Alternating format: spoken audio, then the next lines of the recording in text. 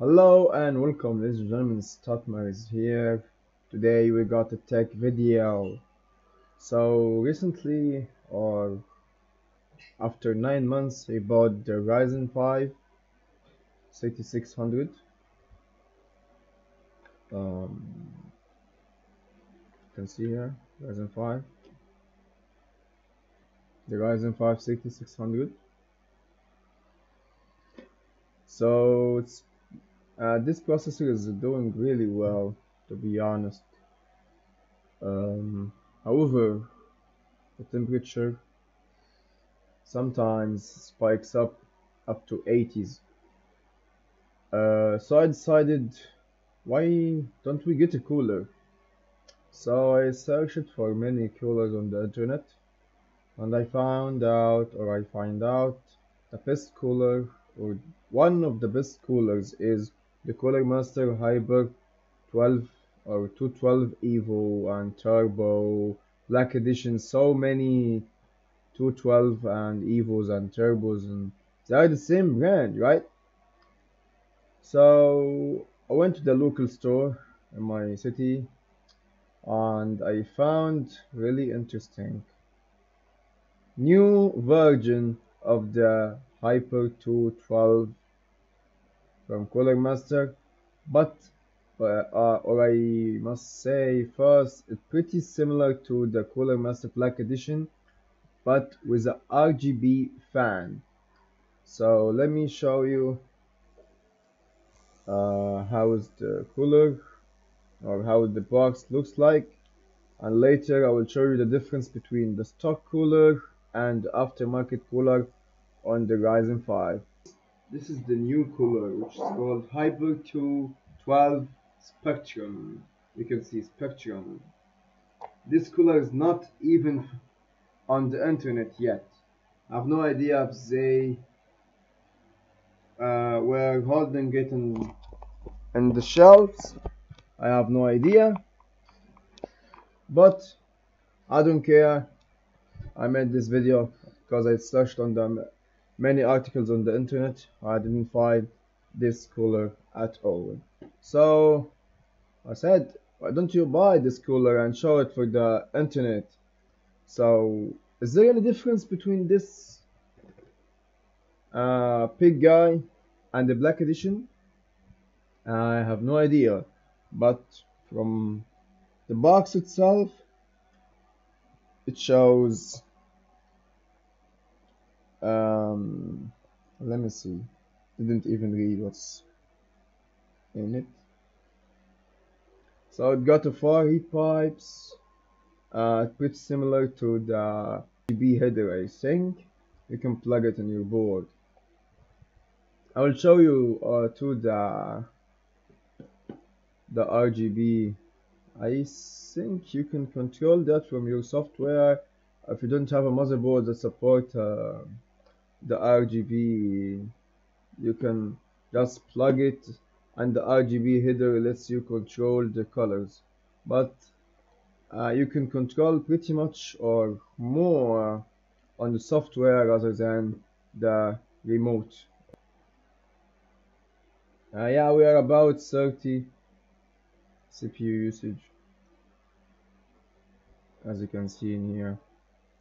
About 24 20 and the idle temperature is 60 so uh, if we bench the CPU we'll find out that as you can see 63 on 20 usage. That's pretty insane. So if we try to stress the CPU for the while we'll find out as you can see 81 80 80s we're spiking to 81 just in a second. 82 as you can see the processor starts spiking. Like in few seconds it spiked to 82 so as you can see sorry um, AMD this stock cooler is not pretty well made for rendering to be honest. Uh, if you want to be on budget please make sure this stock cooler is really enough. But if you're playing on high FPS you need to buy a cooler similar like like this or from any other company. Uh, there's a bunch of companies or tons of companies that make a really interesting coolers. But in my city most of them seal cooler masters evo turbo and so on. So I will turn off the PC and show you the difference after the plug the, um, the cooler and let's see Alright, so we are back now after installing the cooler. Uh, I find out that this cooler has no RGB header or any connector, just a rainbow fan. You cannot control the LED, sorry, uh, just notice that at the end of the video uh, or the part 2 of the video. Now I will show you uh, the, the big improvement that we got after installing the cooler. Uh, okay so I have nothing opened except Streamlabs and so as you can see we currently on 72 and we still running a really or super heavy test for Ryzen especially. Uh, as you can see we jumped to 74 uh, the CPU die in average is 73 uh, and as you can see on the left side the CPU core voltage uh, everything is in maximum. The CPU usage everything is maximum on maximum. So I guess we really got a nice improvement while installing the cooler other than stick with the aftermarket sorry the stock cooler. But stock cooler is doing really well especially for casual games. We'll finish the test um, we got 2907 so as you can see the maximum uh, temperature that we got is about 76 uh, the temperature is on idle now is about 50 to 47 um, it's not bad. Previously uh, at the beginning, beginning of the video we got about on idle about um, 60s um, my real interest is whenever I play a game. Uh, for now or now the processor has no risk to die I guess. Um, okay so I have to say super bye bye for the lovely stock cooler uh, I really am gonna miss you. Uh, for everyone using this cooler uh, please give it a love. This cooler has served me well uh, while I had no money buying the aftermarket cooler uh, thank you AMD for making uh, at least affordable cooler some sometimes you buy cooler or so, sorry you buy a processor without a cooler so you need to buy an aftermarket cooler. Uh, and whenever you uh, so when you are in a budget it's really a peak time or a big problem. So I would like to thank AMD for doing well I guess well for the casual games. And nah uh, I'm sorry for the hardcore gaming for being uh, I stream every day. So it's really tough when I touch my case I feel like it's like an oven.